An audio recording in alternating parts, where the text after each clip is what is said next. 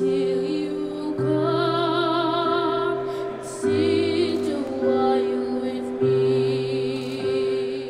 an artist, a singer, the arts influenced my life.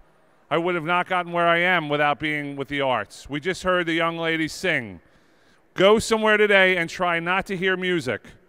Try not to see a work of art. Try not to see a sculpture or something that influences our lives. But yet, when it comes time for the budget, we tell the arts, you can stay where you are. Lee gave us numbers on how much money the arts brings in beyond the art itself. It's billions of dollars in tourism, billions of dollars to our restaurants, to our communities. People move places to make sure they have access to the arts. And when you ask the Philadelphia Museum of Art, which is one of the biggest museums we have in the Commonwealth, about the steps that stand in front of the Museum of the Art, they refer to them as the Rocky Steps. Because people come to that museum to run up and down because they saw it in a movie that was influenced by the arts. It is time we increase the budget for the arts. Not by 2 million, not by 3 million, but we double the advocacy for the arts in this state.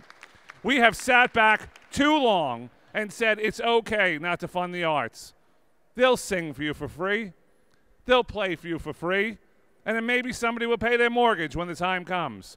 Everyone standing behind me works in the arts, contributes to the arts, was educated in the arts. Somebody had to pay for it. It is time that we stand up. We have billions of dollars in this budget.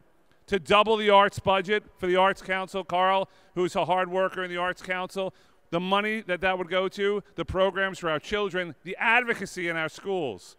The arts is what brought a lot of people out of this pandemic. It brought our hospital workers out who turned to music.